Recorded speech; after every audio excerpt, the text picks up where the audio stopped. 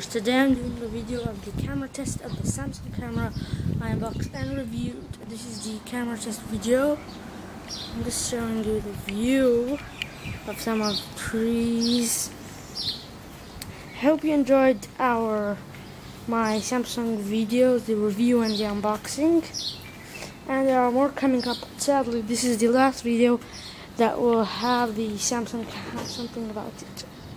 So please I hope you enjoyed. Please subscribe and like and see you next time. Today I'm doing a video of the camera test of the Samsung camera